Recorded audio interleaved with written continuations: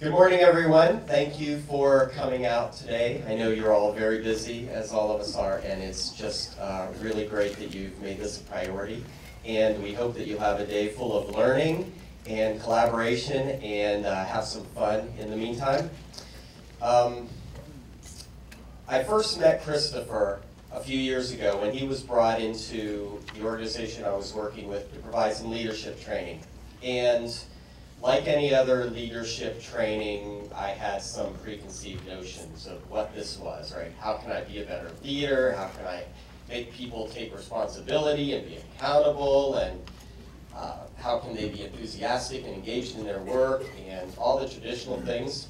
And so I went in with some thoughts of what that was, and I came out with what I think is one of the most influential sessions I had ever attended. And I mean that from the heart. It sounds a little cliche, but it really is true. And I've kept in touch with Christopher all these years. And when we had an opening for a morning keynote, I could think of no one better than to come and speak to the Central Ohio community about what he's learned over the past 20 years in the field research around leadership and personal responsibility and how he's analyzed it and practiced it and, and watched people go through it and helped people go through it. So I think you're going to find his talk really engaging and I hope that as part of this you find the leadership gift that you all have and he helps you unlock it within you. So without further ado, I'd like to present Christopher Avery.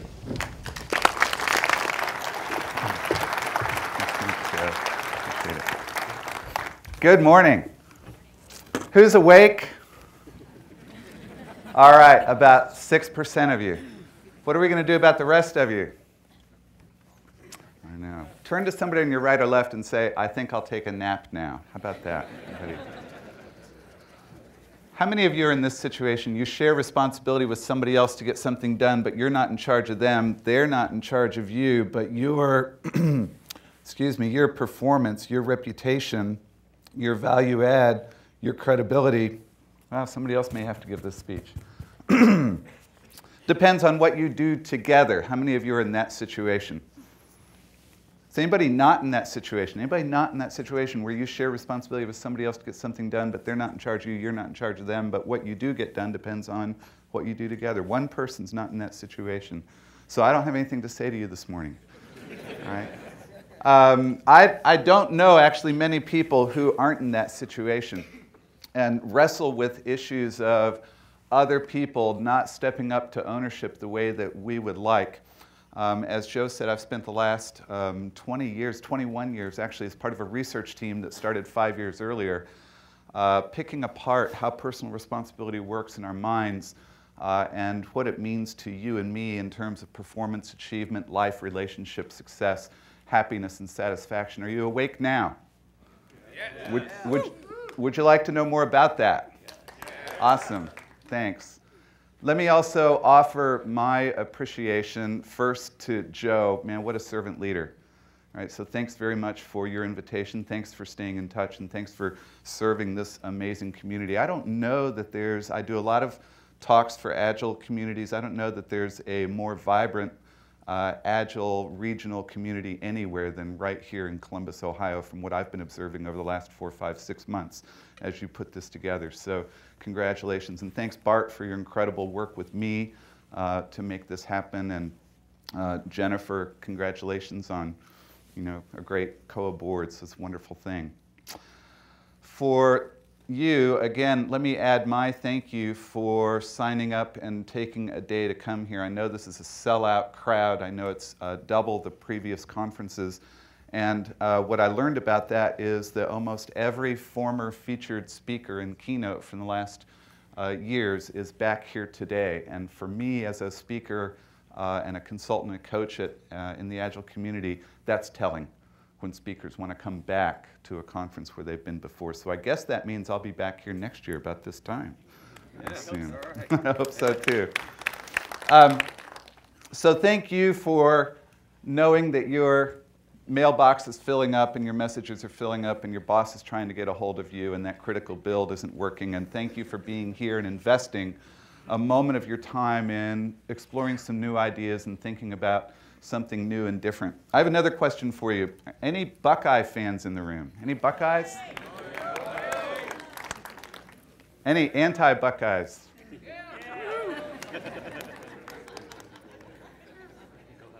I'm thrilled to be back in Ohio because I grew up about three hours from here in Ashtabula, Ohio. I was uh, uh, in high school in the 70s, and what I have to say about that is some of my very best friends flunked out of Ohio State. they, had the, they had the good uh, idea of living in Stradley uh, Hall, and um, that was kind of the end of it for them. So uh, I'm, I'm always happy to be back in Ohio, uh, and it's great to be here. So let's get to it. Um, the, the conversation that I've been dealing with for the last many years is with executives. Most of my work is two or three levels above Agile teams, trying to work on changing the culture of the organization so it will literally suck Agile and Lean principles up into the organization. And so I work with a lot of executive leadership and pretty large organizations doing culture change kind of issues. And I too, so often hear the question, should we go agile? Or we're thinking about going agile, what do you think? Or is agile for us, we're trying to decide? And my usual response is, I don't think that's the right question because agile is not a noun, it's not a thing. Right? The question is, are we exposed to change, complexity, and uncertainty in our business, in our department, in our function, in our role, in our team? And if the answer is yes, then by golly, there's some pretty amazing information coming to light over the last 10 or 20 years about how you can not only survive but thrive under conditions of change, complexity, and uncertainty. So let me ask you are you exposed to change, complexity, and uncertainty in your role? Yes. Yeah, absolutely. So, what I get to tell these senior executives is that there is a whole sea of young agilists that are extraordinarily disciplined and focused on value and know how to operate with sustainability and, and limiting WIP and all that other stuff and, and working iteratively. And these kids, these agile experts at the age of 25, 30, 35, are ready to come take those executives' jobs if they don't also learn a similar way of thinking. So, what I get to tell these executives is that by virtue of when they went to business school and got all their management training and their MBA programs or whatever, they were steeped in a way of thinking that was obsolete when they learned it. And I'm sorry that I have to tell you that, and I'm sorry that it happened, but that's the way it is. There's about a 50 year lag time in what's taught in, uh, in education in our society. And the good ideas around iterative thinking and, and agile, which really started probably around the 70s or 80s and got fired up in the 90s and got formally named in 2001.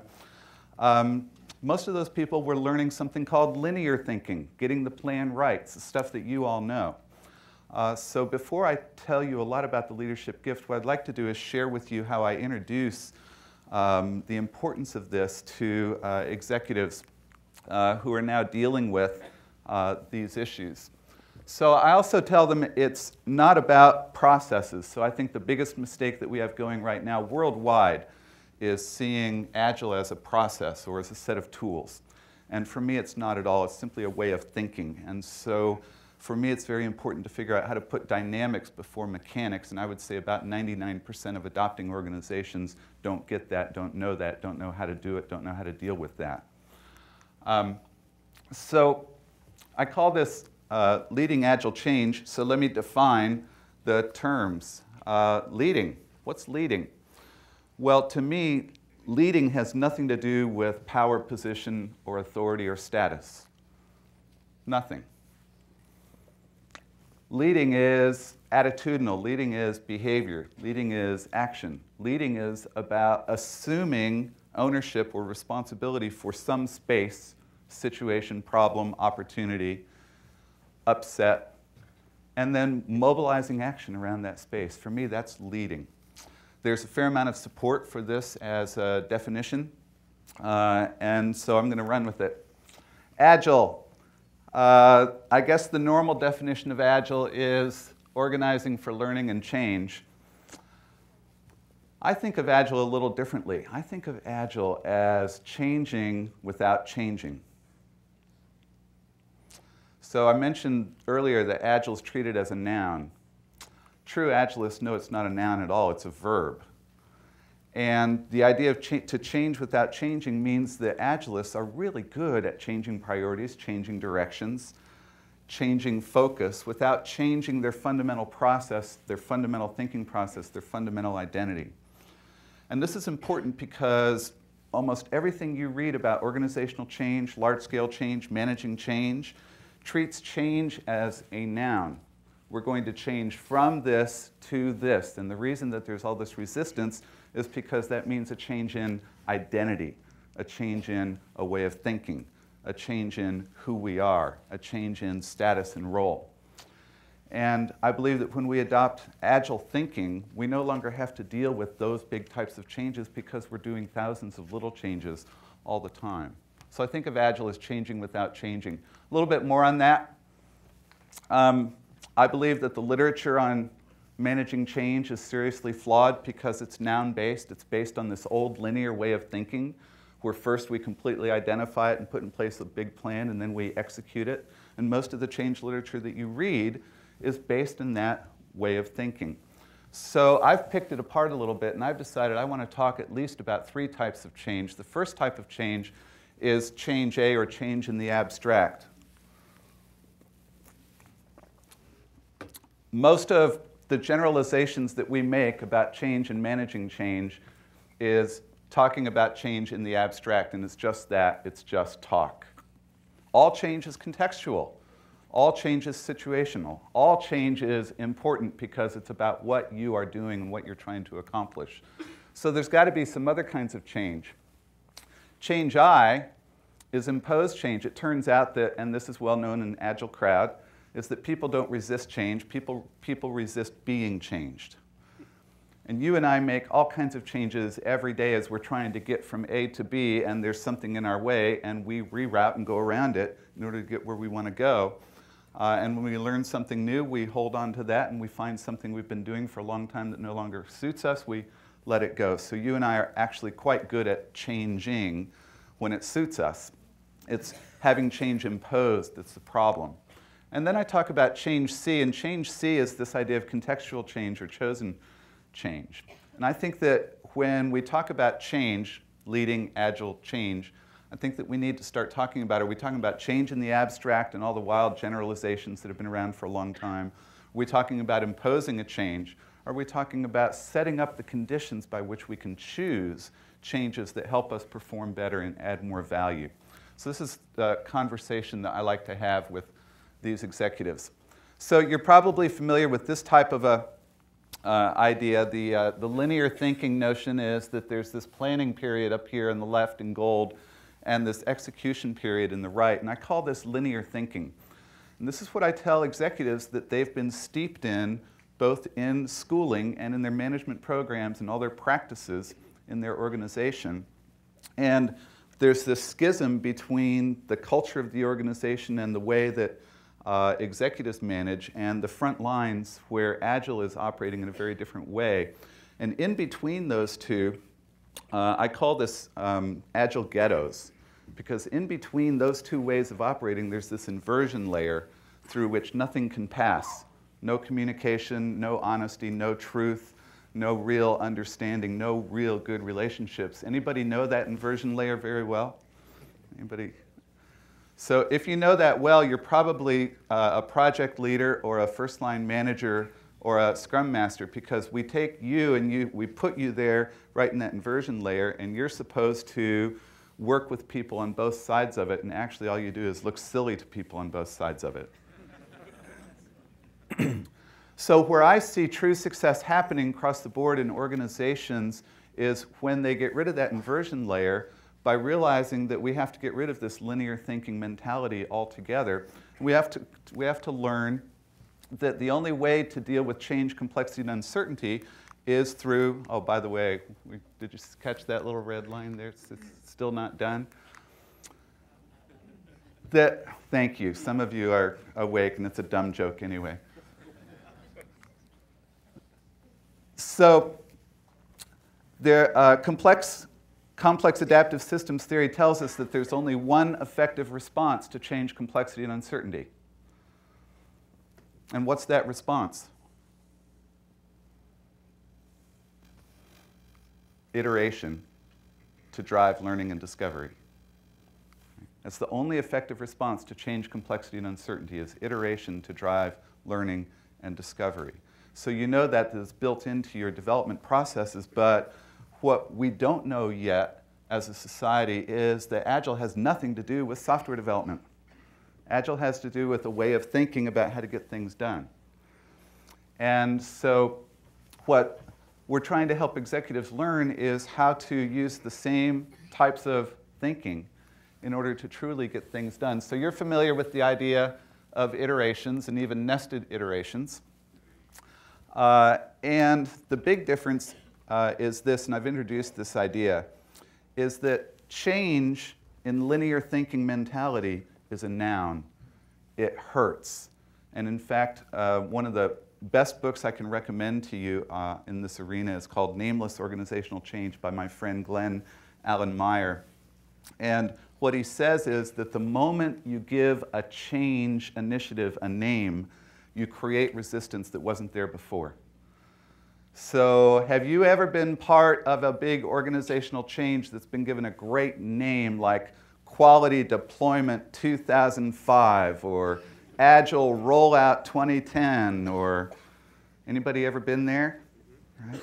Yeah, and what Glenn says is that the moment you give a big change initiative a name, you're asking people to focus on saluting this noun, this named change initiative, instead of focus on performance and value.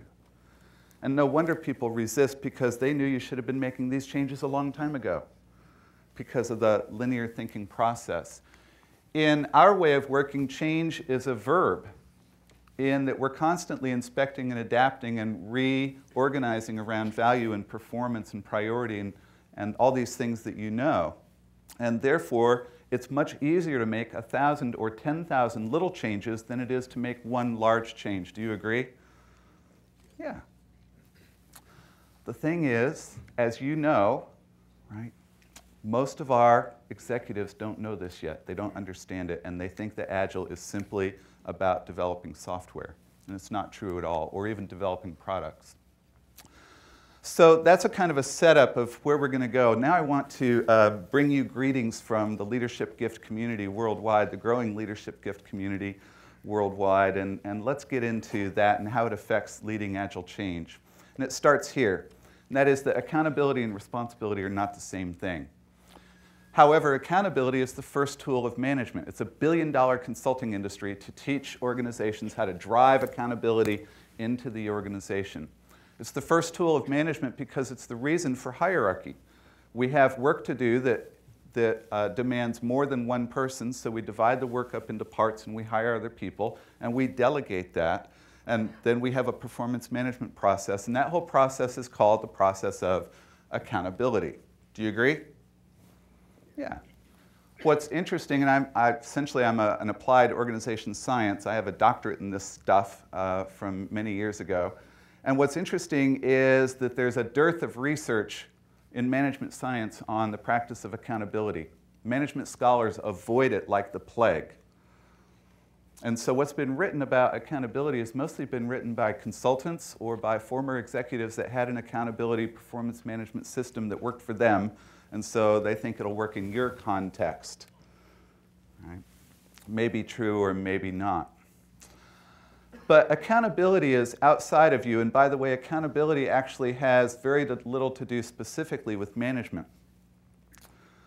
So when I fly home later and I get to San Antonio as my home airport and I turn my car towards my home in Comfort, Texas. Anybody know Comfort, Texas? Anybody? Good, thank you. So, want to know where Comfort, Texas is? Okay. Some, some of you, I think, are waiting. Let's get on with this. Let's get to the meat. I'll tell you where Comfort, Texas is. It's nine miles from Welfare, Texas. You are awake. And it's 75 miles from Utopia. And that's my metaphor for life for living in Comfort, Texas. So it's a little rural, rural town. I lived in Austin for 20 years, and this is about 90 miles west of Te- Austin in the Texas Hill Country. So I get to go home where other people go on vacation. And so I turned my car from the airport in San Antonio out towards the countryside where I live. And there's an intersection on the interstate about 20 miles before Comfort. And it's the last place uh, to pick up real retail stuff, you know, last place where there's a real grocery store and, and things like that. And so as I leave the airport, I call my wife, say I'll be home in about an hour. And she says, Great, would you stop and pick up bread, milk, and eggs? And I say, Sure, sweetie, bye. And I hang up, and the radio comes back on, and man, it's a really good song. And I turn it up, and I put my car on the freeway, and I blow right past that intersection. Right? And I arrive home in comfort and pull up in front of the house, and the dogs come out, and the stars are in the sky, and the family comes out, kiss, kiss, hug, hug. How was the trip? Wonderful. How are you? Great. And I'm carrying the suitcases and briefcase and everything into the house, and my wife's looking in the car. And she comes and says, So, where's the bread, milk, and eggs? Now, at that moment, does she have the right to hold me to account?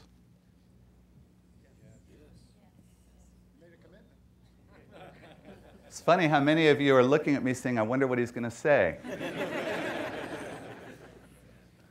Of course, she has the right to hold me to account. I made a commitment. I committed. I said yes. She asked me for a favor. I said yes. I submit to you that at that moment, more important than whether she can hold me to account is how I respond. Can you imagine? Right. So, being who I am, my response is most likely going to be, Oh, honey, I'm so sorry I blew it. I'll go right down to the corner store and get enough of those things for breakfast and then I'll make sure I follow through tomorrow. But could you imagine a male figure, right, tired from a week on the road, arriving home late at night, being accosted with this question, Where's the groceries? Could you imagine maybe a different kind of a response coming out of somebody? not, not me, but somebody, right? So responsibility is internal, where accountability is external. Accountability is always a relationship between you and somebody else. Whether or not you are held to account isn't up to you, it's up to that other person. Right? Now, the reason I know it's external is because I know that most everybody in this room and in the room over there where you're talking back at the screen, you know, the simulcast room over there, they're having a good time. We've all been held to account for something that wasn't fair, haven't we? Yeah. And then there was that thing that you did that was in your performance plan, and you were really proud of it, and they didn't notice. They didn't hold you to account in a positive way. Right? So accountability is outside of us. It's between us and somebody else. And whether or not we're held to account isn't up to us. And it's certainly not a perfect process by any stretch of the imagination, this process of accountability. Responsibility is internal. It's a feeling of ownership. And it's subjective. Write that down. He says it's subjective. That means it's different for everybody how much or how little of your life, your work, your situation, your problem, your upset, your failure, your challenge, how much or how little of that you're willing to own is up to you. So it's different for every one of us. And it's also transient, which means it comes and goes. So, where I said I'd be the guy that says, Oh, honey, I'm so sorry, I'll run right out and do that, I've also been this guy over here. Right? It's transient our feeling of ownership for situations comes and goes. So it's subjective and it's transient and it's internal. And I submit to you that far more important than accountability is responsibility, both in terms of individual success and happiness and freedom, as well as relationship success, team, culture, performance. There's a billion dollar accountability industry out there that I mentioned the more successful they are at driving accountability into an organization, what I see is the more responsibility goes down. Remember, responsibility is subjective and transient, kind of comes and goes. So let me talk to you about responsibility. It turns out that the psychology and the language of responsibility is what you and I do when things go wrong. Think about it. When things go right, we don't often stop and say, I wonder who's causing this, right? We've been, yeah, we've been taught about being in the flow state. All the lights are turning green. Everything's happening great. All the people are showing up at the meeting. The stories are getting done. The retros are good, right? When everything's going your way, we don't stop and question. I wonder what the cause effect factor is here. But the moment something goes wrong, a pattern kicks in in our mind that's looking for reasons, right? So the language of responsibility, the psychology of responsibility is about what happens when things go wrong. So remember, I arrive home with the briefcase and the wife's looking in the car, right? And she comes to me and says, Where's the bread, milk, and eggs? Now, at that moment, do I have a little upset? Do I have a little problem? Something wrong at that moment? Yeah, you bet, right? So, responsibility is about how we respond when things go wrong. For how many of you do things go wrong every day? All day long. How many of you had eight or ten things go wrong already today? And what do we have all those meetings about all day at work? Yes. So, what I want to impress on you is maybe this little pattern in our mind that I'm going to introduce you to is active every day, all day, because there's not a day that goes by that not more than a few things go wrong. So, it turns out that we entered this model with a problem, with something going wrong. And by a problem, I mean a uh oh, a whoops, a upset, an oh crap. I don't mean a really juicy, fun challenge.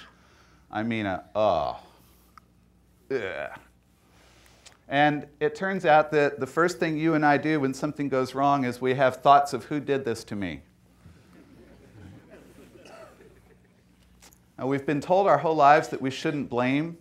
Here's what we haven't been told. If you're human, you're hardwired for it to be your very first thought every time something goes wrong. So think about it. I'm working away in my office uh, and I have an appointment to go to, and I do one more thing too many before going. Do you ever do that? One more thing, one more thing, one more thing. Oh, crap.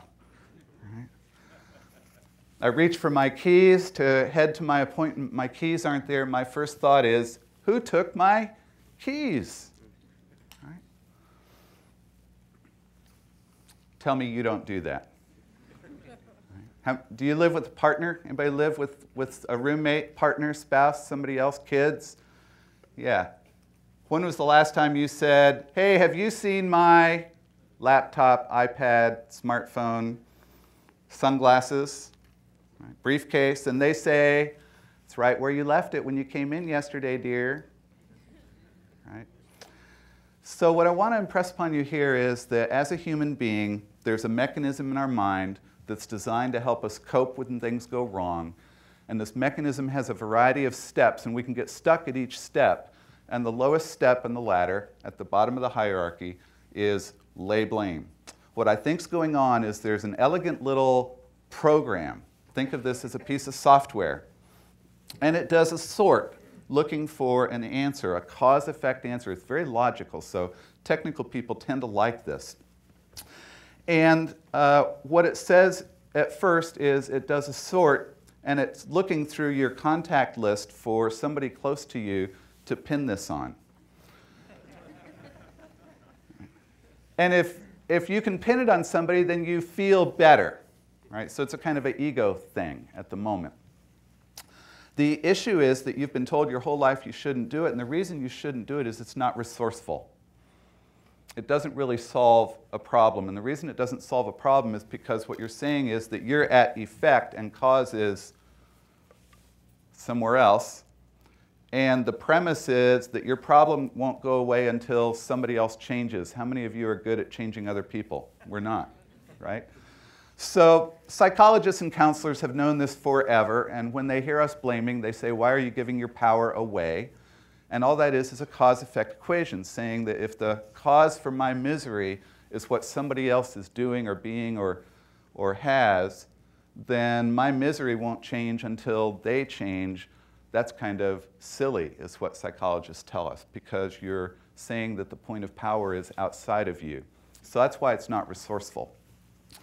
It turns out that if you get off of this mindset, and that's all it is, it's a mindset. It's an island in our mind that we land on and we hang out there. So it's a state of mind. And I will tell you that the um, most forward-thinking research and leadership research is about mental states rather than characteristic traits. So you've read all those things about the six traits of a leader, the eight traits of the 10, the four, the all those things. All that research has been totally debunked because there's no correlation between any of those lists.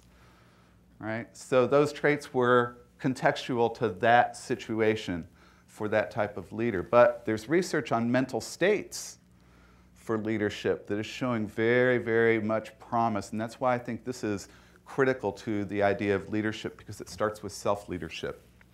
So we can get stuck on this state of blame. And it doesn't matter how smart you are, how educated you are, what your status uh, is, or your age, we are all subject to this. It's our first thought every time something goes wrong. You can get stuck there for a minute or an hour or a day or a week or a year or a lifetime, or you can get off of it. And that's the second most important thing I have to say today. You can get stuck in this mental state, or you can get off of it.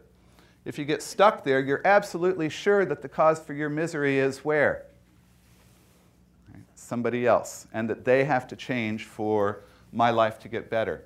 If you get off of it, you actually land in another mental state that's not a whole lot better. I call it justify. So this is where you've been told your whole life that you shouldn't tell stories or make excuses. And in Justify, what the program's doing here is instead of identifying a particular culprit because you've rejected the culprit, then the program looks for a set of circumstances right, that's creating this situation for you. So I reach for my keys, they're not there. I think, who took my keys? And then I do some logical reasoning for who took my keys, and I realize nobody's come in my office since I came to work. So then my next thought is, well, no wonder I can't find my keys. When I came to work this morning, I was solving a big bad problem with a colleague on the cell phone. The desk phone was ringing. I opened the door to my office and there was a huge mess. I thought I'd been burglarized. It turns out that the branch came through the window in the storm last night and made a mess of all the papers and everything wet, blown around. A cat came in and in the plant right there.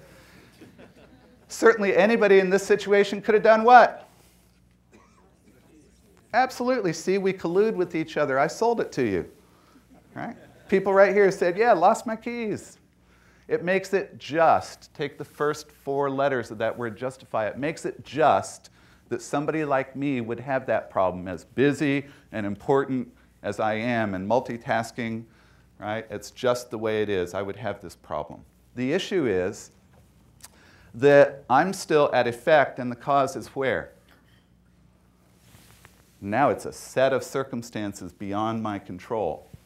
My ego feels better because now it has a way of coping with having this problem, but it is, a, is it a powerful place from which to solve the problem? It's not because the premise is that until the situation changes, what? My problem's not going to go away. So want to know what the number one multi-billion dollar Justify is the ideal and with in most of my client cultures? You don't?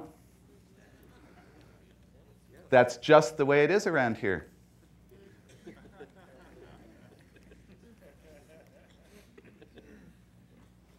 That's just the way it is at this company. That's the way management has always been.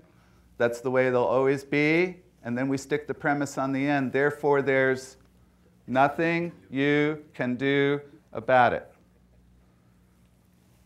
So let me ask you a question. How many of you are skilled in Scrum? Skilled in Scrum? Scrum have this little thing in there about identifying impediments in case you want to confront them and do something about it. Is that culture an impediment? Yeah, and so what are we going to do about it as long as our premise is that it's beyond our control? So, another one of those management fallacies is we've been taught to focus on what you have control of and go out and get authority and responsibility if you want to change something. Well, good luck with that. I don't think that's how it rolls. So, this is a multi billion dollar problem.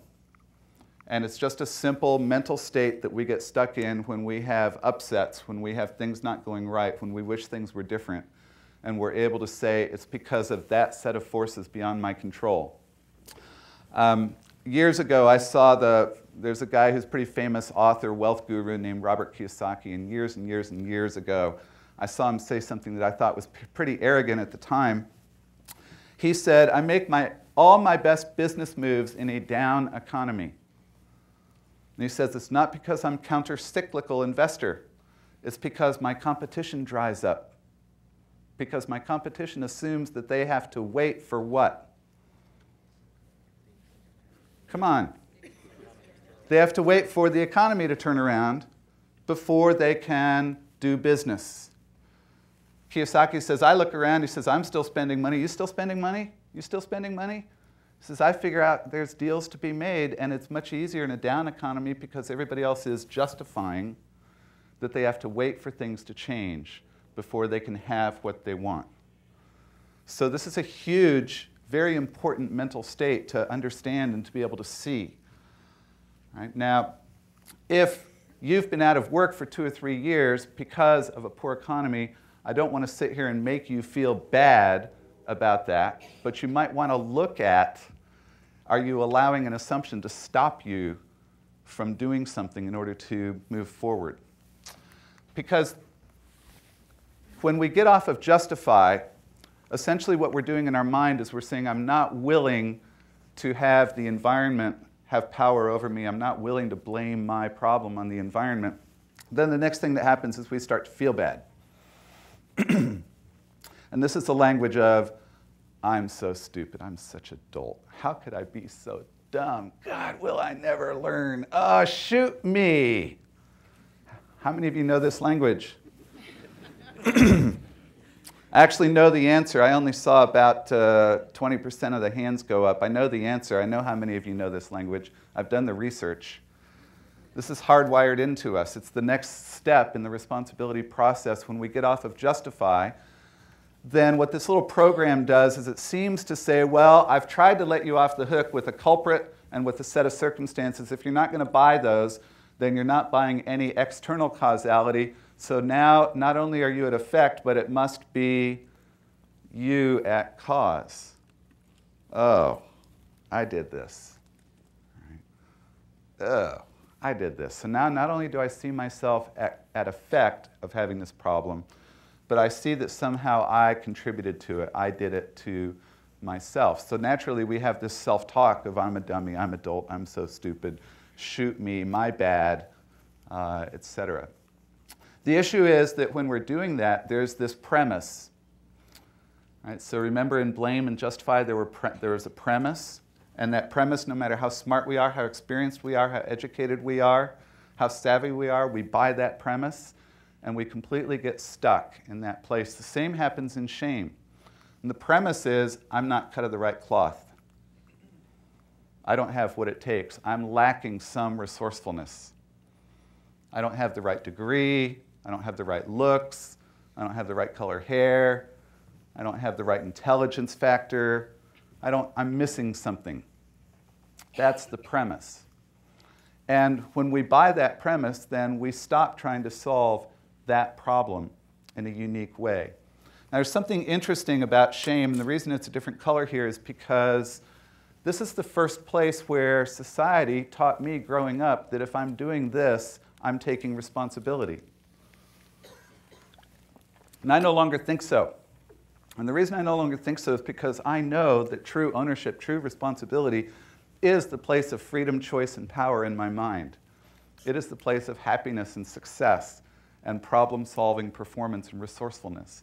And if my assumption is I'm lacking something and that assumption stops me, then I'm not really solving the problem. I'm just coping with the anxiety at that moment. So I'm going to climb down here and actually see if I can demonstrate with this, this to you. So you go to that after action review meeting, that one that's dealing with the big kind of uh-oh failure. And the person stands up in the meeting and says, that was my fault, blame me, I did it, I'll take the hit, I've got broad shoulders. And at the meeting, you're sitting there, and the first thing you do is you go, because of that single point accountability thing, right, that we've all been taught. So if we have a scapegoat, the second thing we do is we go, oh, good boy, he's taking what? Responsibility. Now, same situation, different point in time, different group. Right? That's my mistake. I did that. Whoa, man, that was a big mistake too. Jeez, can you believe I did that? Gosh. Now, here's when we caught it. Here's what we did immediately to correct. Here's what we've learned since then about why I would make much such a mistake. Here's what we've done to try and clean it up with those people that suffered from our mistake. And now I'm standing in front of you to find out what other amends we need to make in order to fully recover from this. Now, you tell me which one is ownership? Which one is responsibility, this one or this one? Yeah, this one, it's clear to us, right? We really know it when we see it. So, why are we rewarding this behavior? For me, once I learned this, once I learned this mental pattern of the responsibility process, I realized that society taught me that if I was beating myself up, I'm being responsible. I no longer believe that at all. And in fact, as a father now of a 20 year old and a 15 year old, and I've been doing this research 20 years, I remember the day that I realized I never want to operate from shaming as a way to try and get some kind of performance change. Because you may get performance change, I doubt it'll be resourceful.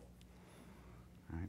And the reason is that there's lots of anxiety in shame, and so it can cause action, but it comes along with a premise that I'm lacking something. Right?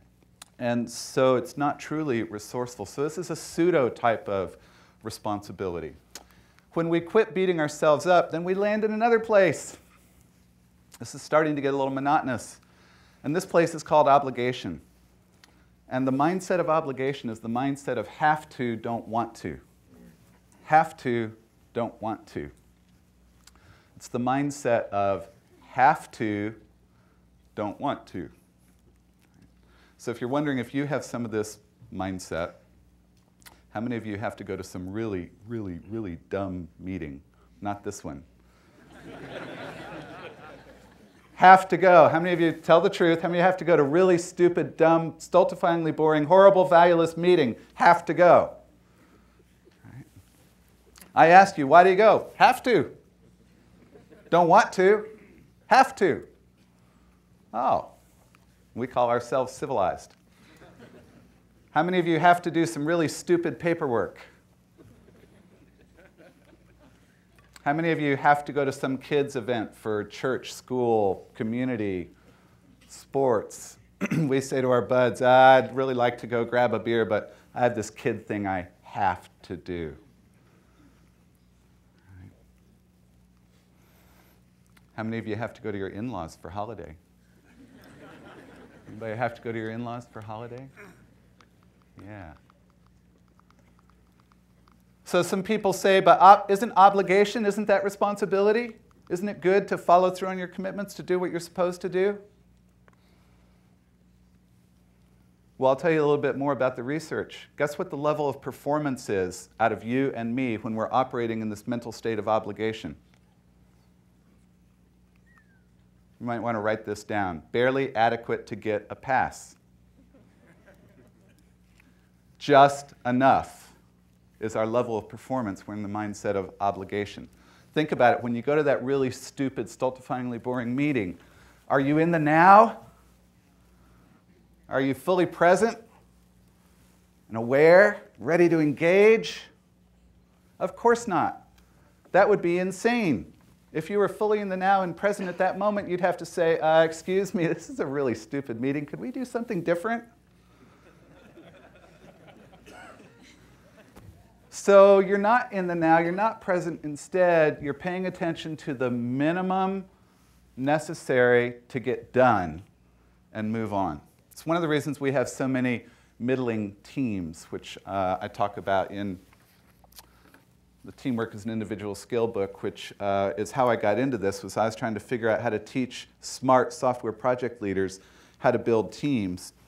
And uh, I decided that when teams performed highly, it was because the people on that team stepped up to subjective, subjectively stepped up to something larger than themselves and felt a kinship with the other people.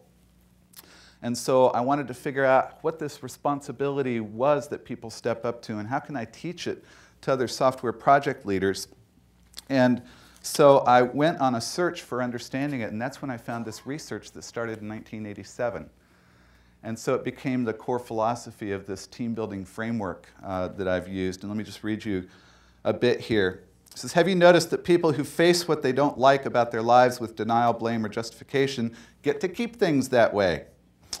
Such people assign the cause of their problems to others by saying, It's not my fault. They box themselves in. Many conflicts at work are caused by two people, departments, or organizations seeing the other party as the cause of their misery with no way out. The reward for this choice of behavior is that they get to stay in their misery. I prefer to team with people who believe that they create all of their lives' results good, bad, big, and small. With such a belief, there's only one person who can change what isn't working oneself. The difference is a simple switch of mindset. Agree to internalize the cause of your results rather than externalize. From that position, you need not stay in any undesirable condition. When we adopt this switch, we become more willing and able to respond to life and team situations, becoming consistently more willing and able to respond, i.e., response ability, to whatever happens in your life and work is the key to personal power and growth. It's also the key to productive relationships. Um, so I hope that you have in your life been on a very high performing team. I found out that when teams perform highly, there's three things that consistently appear in the literature over the last 70 years since the team building industry started. And the three things are that people went beyond what they were asked to do. So, speaking of accountability and responsibility, right, was that true for you when you've been on a high performance team? Did people on that team go beyond what you were asked to do?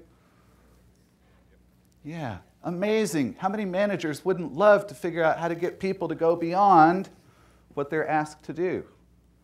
I tell you, the more you drive accountability, the less that's probably going to happen. The second thing from the research on high performance teams is that there is high performance. You are very productive. You added tremendous value. The project was very successful, or the initiative. Is that true? Okay, so that makes sense. We go beyond what we're asked to do, and we have high performance. And here's the third thing the real kicker we had a great time doing it. The work itself was its own reward. Now, how many managers wouldn't love to figure out how to have all three of those things over and over and over? Yet we're focusing on holding people to account rather than creating cultures where people step up to take ownership. The I mentioned that Justify was a uh, multi billion dollar problem. Cultures of shame and obligation is the trillion dollar problem worldwide that I have set out to solve over the last six or eight years when I really dedicated myself to this work. What you're trying to do in creating happy, free workplaces is you're trying to get people out of the mindset of shame and obligation where they can move to this resourceful place in our minds called responsibility. It turns out that responsibility is just a mental state that we get to every now and then around challenges. So remember, it's subjective and it's transient. How much or how little of your reality you take ownership of is up to you. The more of your reality that you decide to take ownership of, the faster you'll grow, the happier you'll be. The less of your reality, the more you think that, that reality is out there hammering on you, I think the less successful, the less happy you will be. So the more we get to this mental state, the more we can truly solve problems. Now, is this just about hairy fairy, you know, touchy feely stuff? I don't think so. Because what I believe is that logical cause effect thinking in these mental states below the line is very simplistic. It's what we would call single loop learning, to use the language of Chris Argyris in single and double loop learning. Chris Argyris is a famous industrial psychologist that's often quoted in the Agile community. Um, when we cross over from obligation to responsibility in this mental state, what happens is I think we open up far more complex reasoning processes. And in order for that to happen, we actually have to expand our awareness, expand our perception, which means we're able to see things more clearly. And we see paths to success or paths to moving forward or paths to production, productive action that we could not see when we're in mental states that saying I'm at cause or I'm at effect and cause is out there or I suck or I'm trapped. Right? So let me tell you a little bit about the, um, the logic of shame. The logic of shame is this. You and I were not born with perfect knowledge. Agreed? Yeah. We're not going to die with it either, by the way. So how do we how do we learn? We learn through trial and error, don't we? And so what's the likelihood that you would make a decision or take an action 10 years ago or 10 months ago or 10 weeks ago or 10 minutes ago that you thought was a really good thing at the time to do and today you wish you could have it back? Today you wish you knew then what you know now? What's the likelihood of that happening? 100% yes? And what's the likelihood of that happening day after day after day for the rest of your life? It's 100%, right? So with amazing frequency, you're going to be able to revisit decisions and actions that you took in the past and wished you hadn't done that. Now, for how long do you deserve to beat yourself up for being human?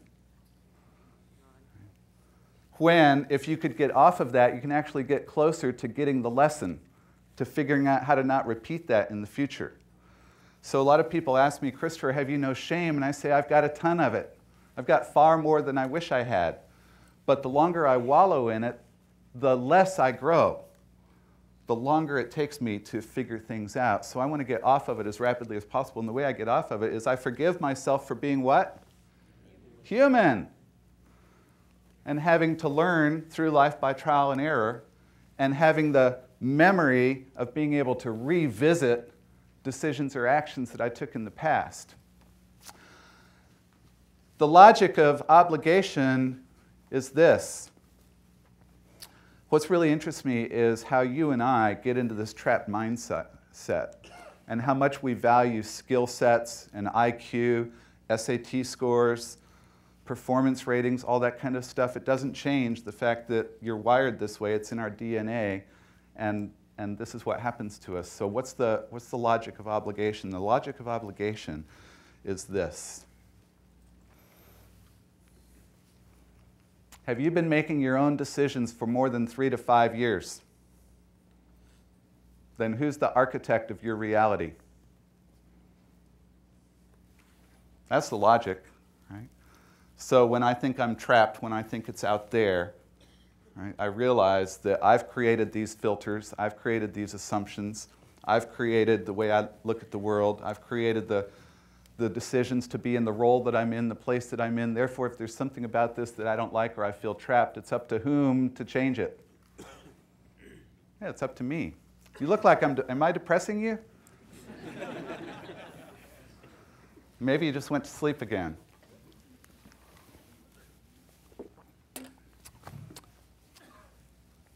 it turns out that obligation is the one that I really want you to understand because shame and obligation is where I've found professionals like you and I live uh, in the corporate world.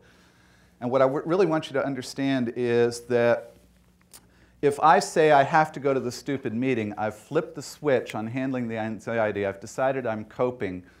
Um, and I believe that I'm trapped and there's nothing that I can do. But if instead I say, you know what? I get to go to this really stupid meeting because I don't know how to change it yet, but I'm working on it. then what happens is I'm not buying the premise. I'm not buying the premise that I'm trapped.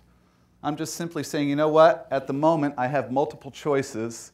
I kind of like to keep my job, so the choice I'm making is to go to the stupid meeting. But I'm assigning to my mind to please start working on this issue for me.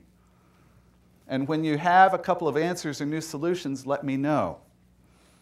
And the reason is that I know that only when you refuse to adopt the premise does your mind start working in more complex reasoning ways and looking for new solutions and expanding its ability to handle anything. So while it may be a little bit too confronting to say, I get to go to this really stupid meeting, what I want you to learn is how valuable it is to acknowledge to yourself that you're the architect of the reality that you're seeing. And the only way to change that is to not feel trapped but to know that you're going to discover something new soon. So, a couple of other positions to understand. Quit is when we disengage. So, remember when I said you can't be in the now at that dumb meeting? That's quit. It would be insane to show up and be present. So, instead, we check out, we disengage, we move our bodies to that place, or we dial in so that they see that we're on the call. And then we roll our own home movies or multitask or whatever. That's quit, just mentally quitting, mentally disengaging. It's escaping without solving the problem, which means the problem's going to come back over and over and over and over again until you really figure out how to get it. Uh, the issue is that there's absolutely no growth or learning below this line. And the only place for growth and learning is when we move from obligation to responsibility. I call this the responsibility process. Um, and if you're interested, there's a nice little PDF poster that you can download from christopheravery.com and you can print as many copies as you like and hang it up. I recently got an email from a guidance counselor in uh, Plano, Texas, whose husband had been in an audience that I was in, and he introduced her to this, and she downloaded the PDF, and she said, I've hung 150 copies all over campus. And uh, you can do that too uh, if you think that this is valuable to you and that you'd like a reminder. So most people, when they're introduced to the responsibility process, they want to know what to do about it. Are you thinking, I wonder what to do about this? First of all, the question is, do I have one of these operating in me? And if you're saying, yeah, I think maybe I do, and if you say, no, I don't think so, but damn, all those people around me, they sure do, then you probably have one too, I'm guessing. Then people want to know what to do about it. And here's what we've learned about what to do about it. There are three keys to responsibility. So, what I call the leadership gift is comprised of this research on the responsibility process, how our minds respond when things go wrong, big or small, every day, all day long. And the keys which is how to work with this. So we see this as the interface between your inner and outer reality. And the keys are, are what you do, the tool set that you have for interacting with this. And the keys are intention, awareness, and confront. So let me tell you quickly about each of these keys. The intention key. The intention key says, however you create deep, abiding commitments in your life however you create first principles, prime directives, core values, however you create those, however you create your most profound desires, you might want to think about creating one that says that I want to get to the top of this responsibility chart around every upset every day for the rest of my life. That's the intention key. So, intention is a huge study. It's a study of free will. Uh, in the work that I do, we go deep into understanding free will, needs, wants, desires. We define a win as an intention met, so we score and share wins in our lives. Win doesn't mean somebody else lost. Win meant I set an intention, it happened, that's a win. How many of you want to be on winning teams? Yeah, so do you know what winning is for each other? You might want to think about that because the more we celebrate wins, the more we tap into our ability to use one of our most core skills or abilities as a human, which is to set an intention and achieve it or meet it. So, while it's a deep study, the way to start practicing intention as a key to responsibility is straightforward. Intend to get to the top of that chart around every upset, period. I believe that this was set for me in 1991 when I was first introduced to this research. The research team only had three positions on the chart blame, justify, and responsibility. The other positions had not been teased out of the research yet. And uh, I sat there where you're sitting and was being introduced to this by these members of the research team, and I already had a doctorate in organizational science, tons of psychology background, tons of communication background. And I'm sitting there with my jaw hanging down to my chest saying, man, that is the most profound model of normal psychology I've ever seen. And I thought to myself, I want that.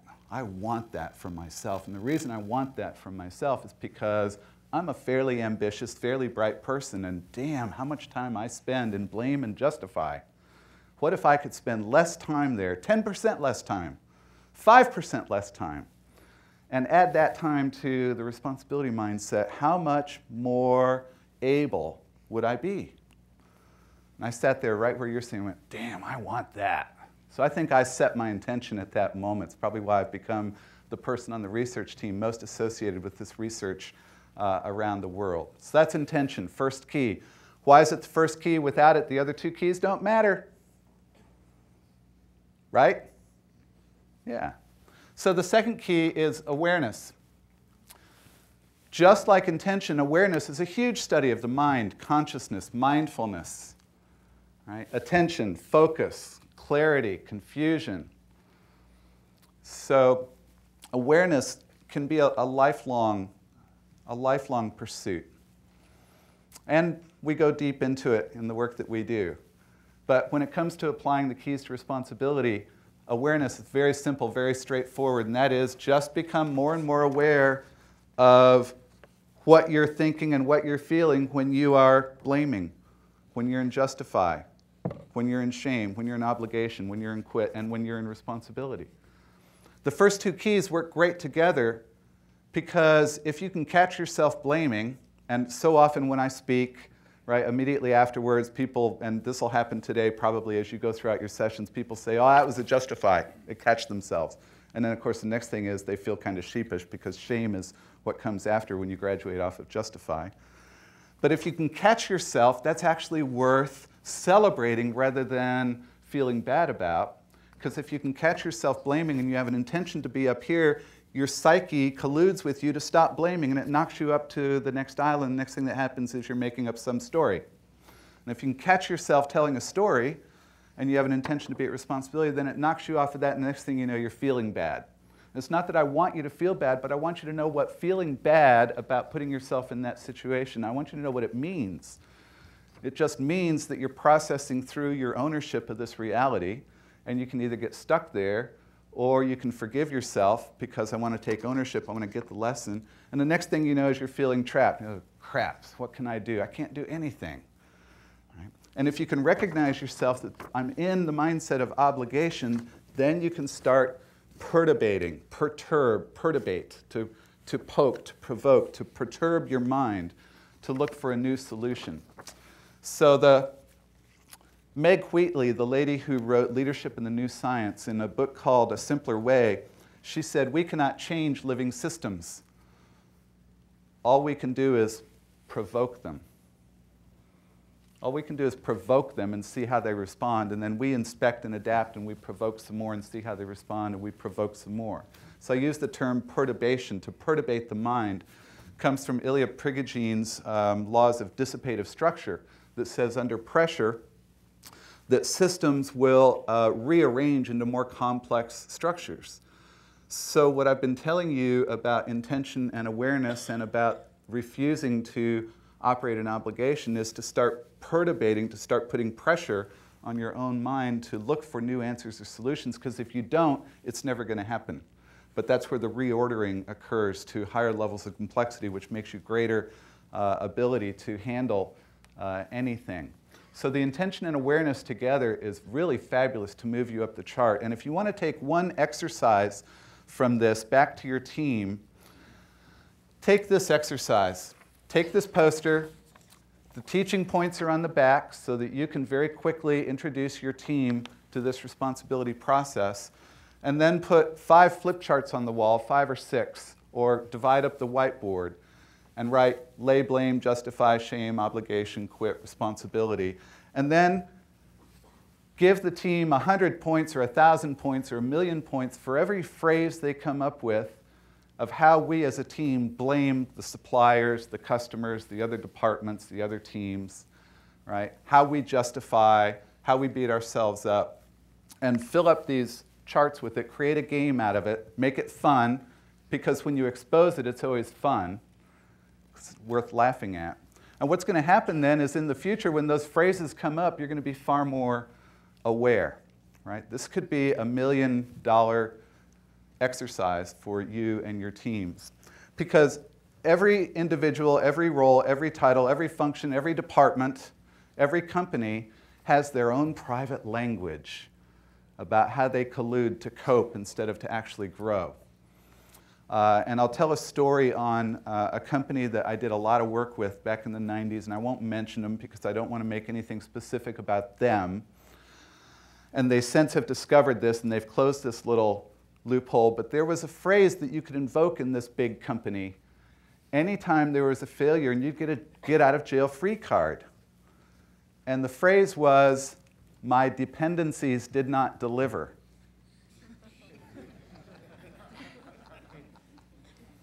You could go into a, a after action review for a failed multi-million dollar project and you would go through all your slide deck and say, I can show you that I absolutely came through on everything that I had control over, and the reason that this sucker is such a big failure is because the, the dependencies didn't deliver. And they would actually say, Oh, you poor baby, here's your bonus, here's your title, here's your promotion. Now, you're laughing at that, and I want you to discover the same phrases that you use with your team and in your role and in your organization that are also going to be just as laughable after you realize it because they're there. And every time I work with the team, we discover a bunch of them, didn't we, Joe? yeah. In the workshop the other day. The third key is confront. The confront key says that we actually have to be willing to look in the mirror and ask ourselves if we want to own this reality, and if so, what is there to see or get or learn or do? So it turns out that confront, I don't mean confrontation, I don't mean getting in other people's face, I mean getting in our own face.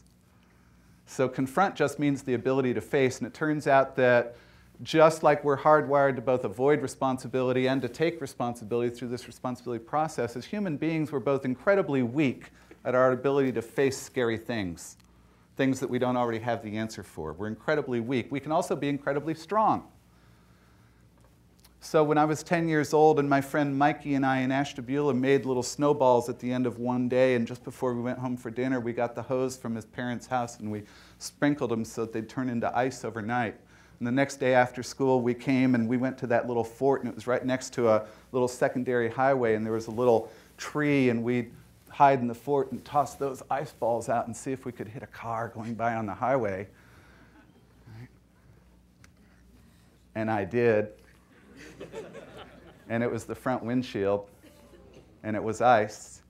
Now, at that moment, I had the opportunity to run away or to face it, to stand in the heat, to turn towards the struggle, to turn towards the challenge. That's what confront is. Confront is that choice and knowing that only by facing will you actually grow in any way.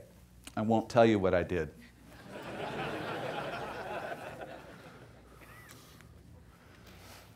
So, this is your leadership gift. It's your leadership gift because you were born with it. Everybody is. Every act of leadership taps into it. Every act of leadership, because leadership faces the anxiety of the moment and figures out how to respond resourcefully. And leadership starts with self leadership. I am really sick and tired of leadership being about persuasion and influence. It's why we're asking for more authentic leaders, true leaders, real leaders, servant leaders today. It's because 95% of leadership for me is self leadership. And if you step up to this level of self leadership, then you're going to find people wanting to come assist you, follow you very well. So we're born with it. Every act of leadership taps into it. Most people never know they have this in them. Some of you didn't know it before the last hour. And now, not only do we know that we have this in us, but with the research of the last 25 years, we know exactly how to understand it, how to teach it, how to take it, and even how to practice and master it. So we've opened the leadership gift for you. The question is, what are you going to do with it? It's your onboard guidance system. I'll skip Charles Darwin. You know what he said. Here's some metaphors. We can grow or cope. We can learn or defend. We can change or resist. We can be agile or we can be stiff. We can focus on value or we can focus on waste. We want people to be motivated when they're resigned. So I have a friend, some of you may know Sergey, he's in Oslo, works a lot in Russia as an agile coach. He's taking my work into Russia, and, and I was there recently with him, and he said, without responsibility and trust, no process will work. It doesn't matter what process you're using. Right?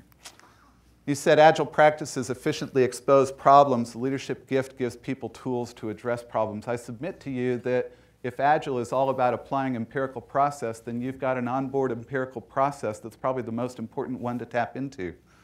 And that's your ability to grow and learn uh, from problems. I tell executives about some papers, some, some books worth reading. I think I'm going to skip that so we can get some Q&A. I tell them to replace right and wrong with empiricism, to replace endless analysis with experiments, and most importantly, I tell them to ask themselves how they know whether or not they're adding value. Uh, and that there are hundreds of young, disciplined agilists who'd be happy to come help them uh, look at that and, and answer the question.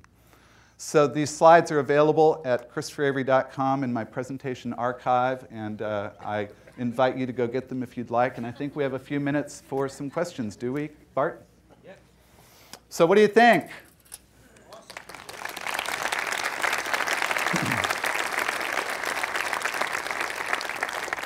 If you have a question, raise your hand. Question, comment, insight? Yes, sir. Sp- just yell it out. Sure. Could you just quickly go back to the slide that has the books and just speak for a minute about the books that you would recommend? Sure. So, again, this is talking to executives about how if they don't want to learn what we all are learning, you're going to come replace them pretty soon. Uh, what I tell them is that um, the Agile is not specifically about software because there's a phenomenal uh, lightweight strategic management framework that this guy's got the largest entrepreneurial management training organization in the world.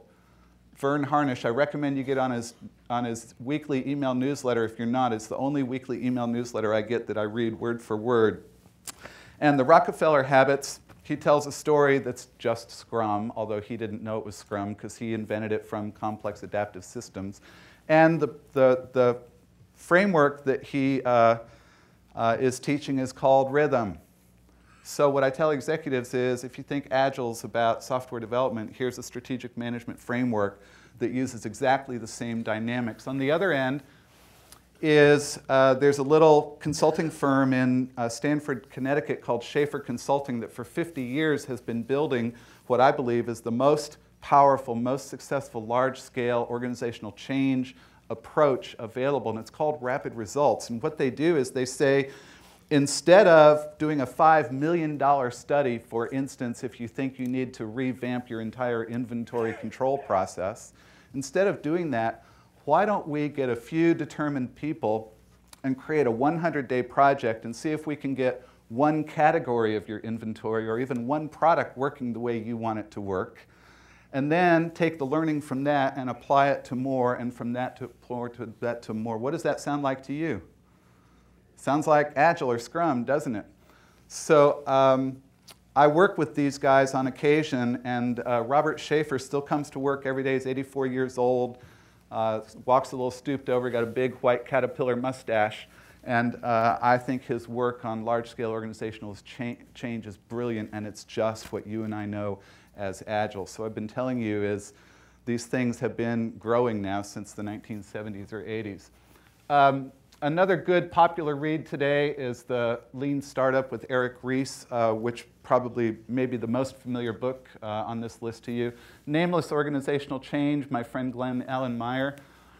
Uh, of course, we have to start, if we want people to operate at responsibility and get out of shame and obligation, we have to build environments that support that. And so that's why understanding the motivation work of Daniel Pink and what people really strive for uh, at work is important.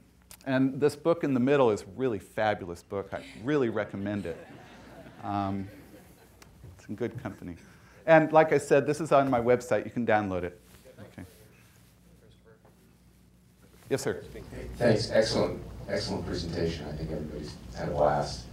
Um, Can you uh, just draw some of the connections between the change part of, of your uh, presentation at the beginning and the responsibility ladder, uh, that, you know, at the end? Absolutely. Uh, I would say this change is a verb. The responsibility process is something that's operating in you every day, all day long. So if you get stuck in any one place, you're not going to change. So resistance is below the line, change is above the line. What I've found is that, uh, thank you for asking me to make the connection. If I didn't say this before, I'll say it now. Um, I, I, was, uh, I was in the workforce, left the workforce, went back to graduate school. I was one of those pain in the ass graduate students that ask real live questions um, instead of just nodding my head about the theory. And uh, when um, I made the decision to not become a professor and a scholar, but I wanted to go back and be an applied leadership uh, scientist in the workplace, I wanted to, to find and pursue fundamental solutions to persisting problems. And um, you know, I never knew that a few years later I would run into something that would become the most important information I know and have to share. Because this is at the root of every problem that I see in organizations of not solving a problem, not learning, not growing, not performing, not producing, not changing. Yeah, so does, does that make the connection for you? Thank you. Yeah, one more. Uh, you- Um, you give your talk, thank you for the presentation. Um, you give this, uh, your conversation to, um, executives, uh, is what you said. Many executives, from, from my experience, believe that their value add is in command and control and in getting, uh, metrics in order to, to use those metrics in order to do command and control. What do you tell them that their actual value add is, if it's not that? I mean, uh, do you believe that is that? I would imagine that you don't believe that is that.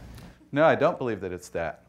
Um, what, what I tell them is that my, first of all, I don't tell them that I have the answer.